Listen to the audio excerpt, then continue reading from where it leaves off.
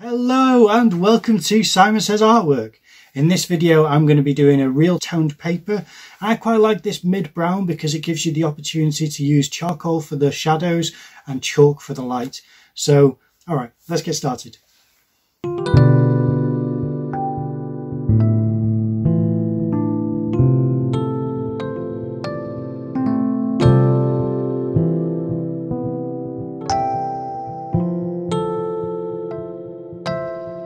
When it came to this session, I had already done some warm up drawings that you can see in the top right, and I wasn't too sure how to go about this next pose. It was quite an interesting one, and it was a fairly long pose. So I use these charcoal pencils and I start to get the darkest parts, which is what I always recommend if you're not going to draw outlines and you're going to try and just draw um, the tonal values immediately, which is what I quite like to do, then I do recommend going for the darkest parts that you can see straight away. And for me, the darkest parts that I could see was the hair. So I started to draw the hair from the top of the head and the hair which curled over the shoulder and, um, and round to the front of the body. So that's what I started off with. Now I did get a bit of a curl for the um, shoulder on the outside, but that's something which you can either cover up with some um, outside shading, you know, for the um, behind the actual model to make it pop out, or you can try to pull it back a little bit by either um, introducing some tone to the skin for the shadow areas, or to uh, try to rub it out a little bit, which I try not to do, but you can.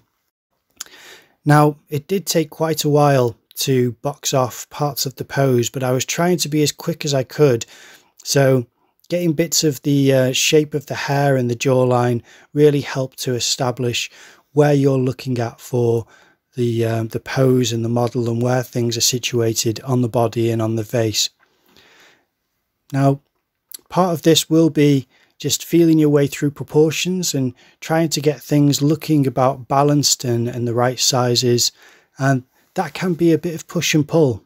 By push and pull, what I mean is you'll make a mark somewhere and then if you find out that that mark's not quite right, then you'll um, make the correct mark and then try to compensate by um, putting either darker marks in the right place to lighten the marks that you've already made or to rub it out or push things over another way, which is uh, something which you can do with a certain amount of tricks. For this one at the moment, I'm just trying to establish with some mid marks of where things sit and then committing to the darker parts with uh, with some bit more pressure, which is what I did underneath the hair and what I'm doing underneath the jawline there. Once you're happy with where things are, you can really start to commit to them, but you are then committing to darker marks, which are harder to pull back. So you have to be fairly confident if you're doing things like that. Either that or you don't mind having a finish which is somewhat rough and you don't always have to go for accuracy. There are several different ways of doing life drawing, and some of them are a lot more expressive and free, and others are more accurate and carefully rendered. This is a little bit of both, really.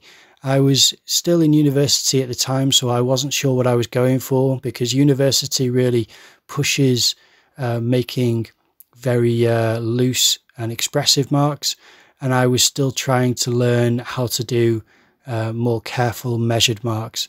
So I was still listening to what university was saying to me, but at the same time, I had this um, admiration for people who would take the effort and you know put their energy into trying to be a lot more careful and precise with their mark making. I don't really go for photorealism, but I was definitely trying to get things looking somewhat accurate to a certain extent.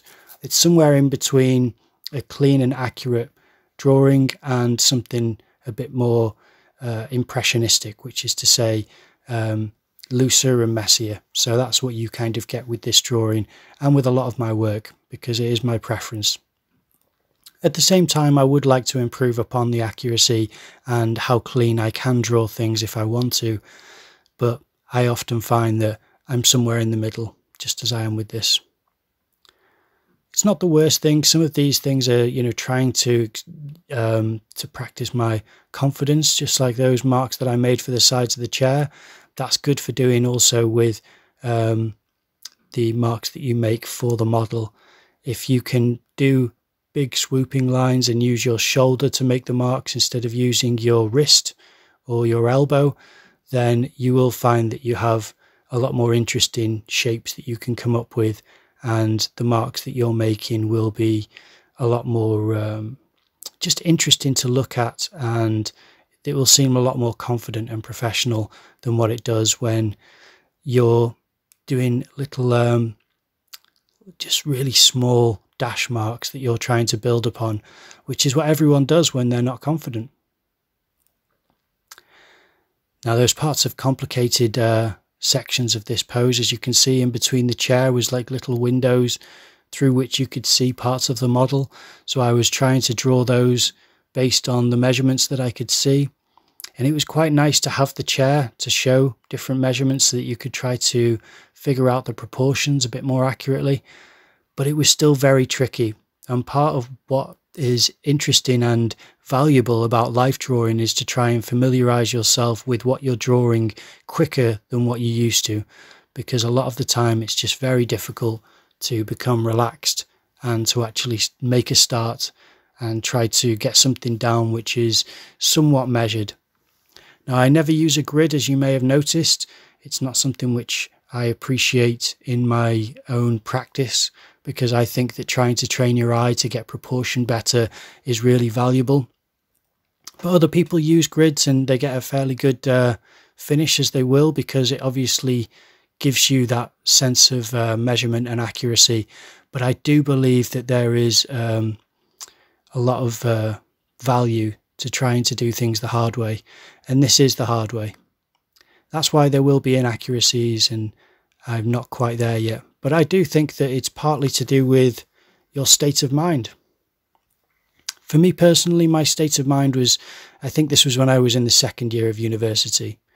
And it does make it quite tricky when you are going through something which is quite stressful and you have a lot of work on and you have a different social dynamic to try to negotiate. And it can just change how you approach drawing or painting or just thinking about seeing the world. And that was part of what I was dealing with when it came to doing these types of studies. Now, I was trying to um, do as much as I could, as quick as I could, as I've said. And I'm working fairly fast. I'm not taking too much time. And part of uh, what I'd like to practice more in the future is to take a lot more time looking and a lot less time drawing because that is a specific um, discipline which I've learnt to do with life drawing, or I suppose any type of observation, is to take that extra time looking and observing different angles and different um, measurements that you could make on the subject, which you won't make if you just start drawing straight away. So, part of the problem which I face a lot of the time is that I will start drawing immediately and then I'll have to make corrections along the way because of the mistakes which you make due to not looking for long enough. The thing which I like about this pose is that it's got a lot of different angles to consider. I like the fact that the elbow is up on the back of uh, the backrest of the chair I think that's a really good angle straight away, which cuts across the body, as you can see. It's just really nice. It's very well considered by the model. And not only that, but I don't know if you can see this, but um, that arm which goes along the uh, backrest of the chair, also the fingers drop down, which almost align with the other arm, which goes down to the seat of the chair. Now in this pose I introduce this uh, pastel pencil which is essentially like using chalk but um, it's a very nice one it's a Derwent um, white pastel pencil and I'm still very um, very clumsy with how I apply this type of light tone to the drawings but it's a learning process so I will try to improve upon that along the way. But as you can see immediately, it does add a layer of interest to the study. It means that you've got the mid-tone of the paper, you have the shadow, you have the dark part of the hair, you have the midtone as well, the darker midtone areas, which are the shadow underneath and on the neck there underneath the uh, jaw. And then obviously the light and the midtone light of the pastel pencil. The light being that on the shoulder and the midtone light being the, the white which I'm applying down the arm, which is just lighter than the tone of the paper, but it's not as light as the actual uh, top of the shoulder, which is having a more direct um, reflection of the of the light source. Now I will say that when you've done some shading in charcoal and then you go back over it with either a pastel pencil or with um, chalk, then you will get a slight blue uh, tint, which is not nice. So I try to avoid that, but that is something which happens when you're rushing, just like I'm doing here.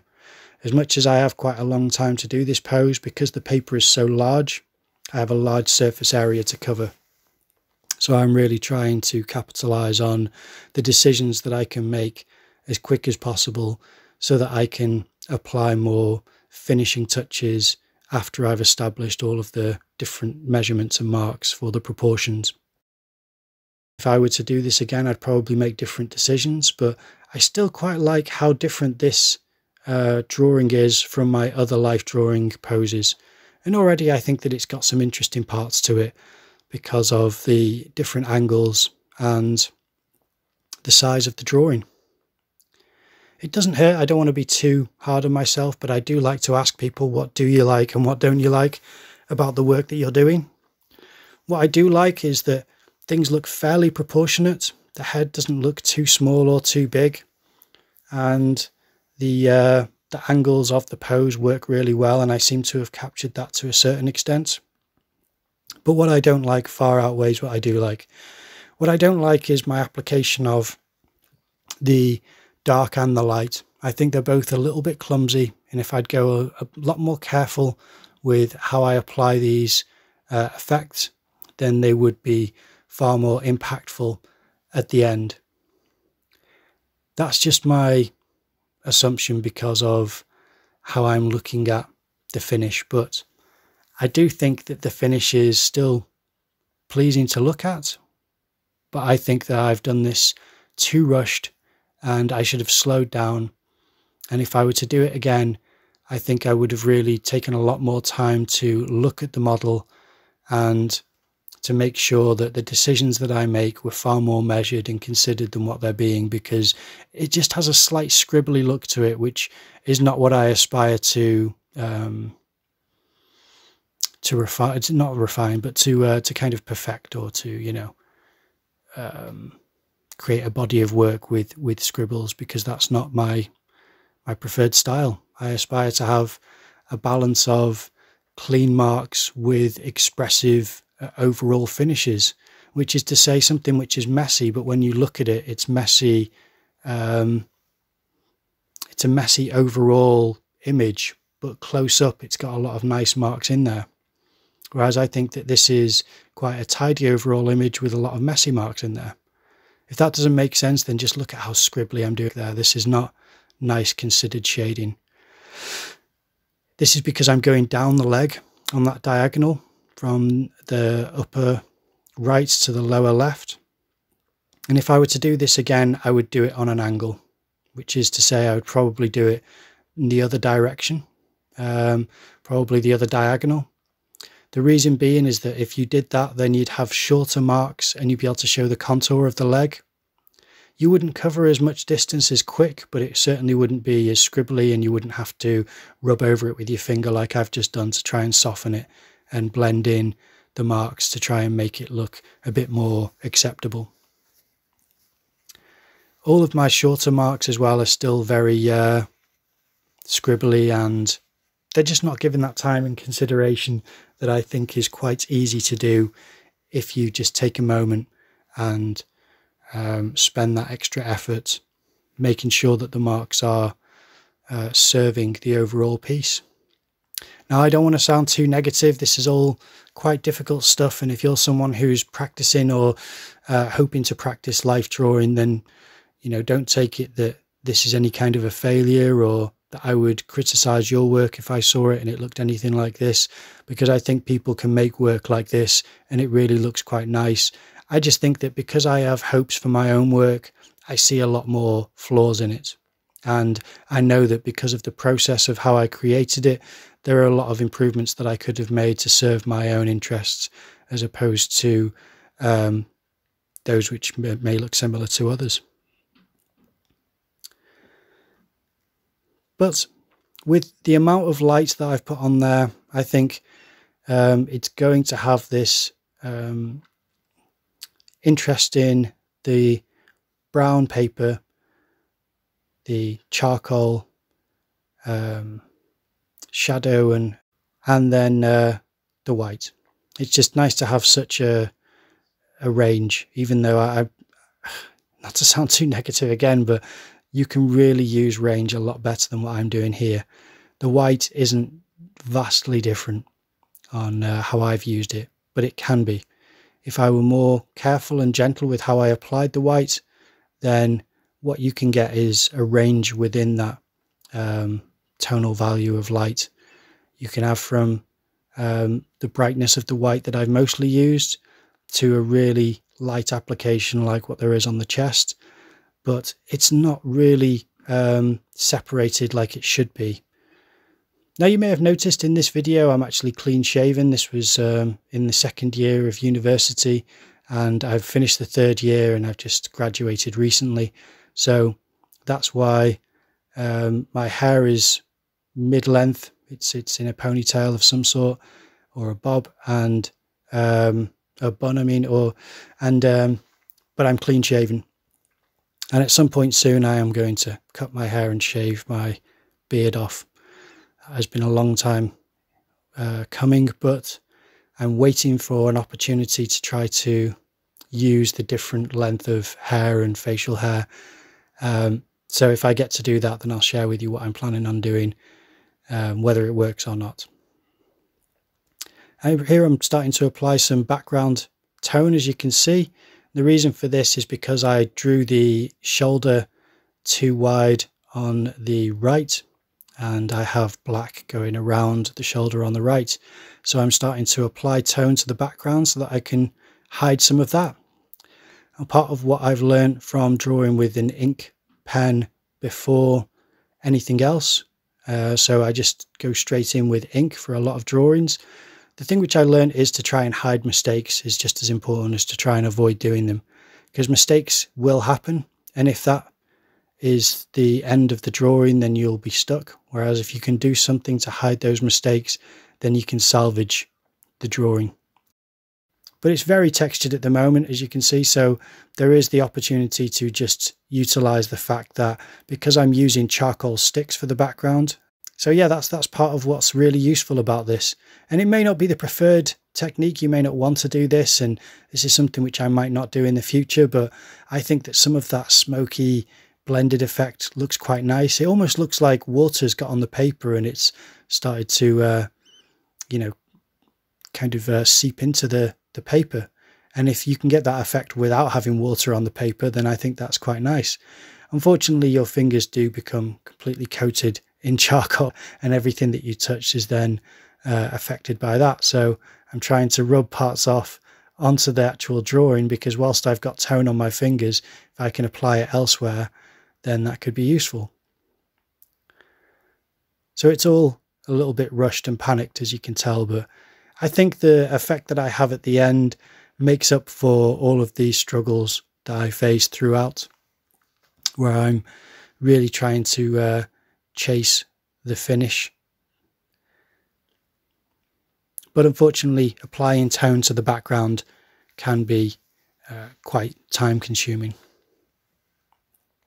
Thankfully, because I was so quick with applying the um, marks for the, the measurements, the proportions, it means that I've made up some time. It's trying to now balance the dark behind the model because you don't want it to look as though it's um, dark in one area and not in another. If you have all of your dark um, background on one side, it will look imbalanced. And the best thing to do is to try to apply some of that on the other side to try to create a bit more balance. But this does become a bit more of trying to get as much down uh, as the as possible. One of the parts of this drawing that I think are quite nice as well is the wristband that you can see on the arm leaning on top of the backrest. The wristband that is there has um, a shape to it. It's uh, it's contoured. Things like that to make them curved slightly shows the curvature of the arm and the wrist, and it also shows the direction that things are turning in. If it was contoured the other way, it would suggest that the arm's facing outward.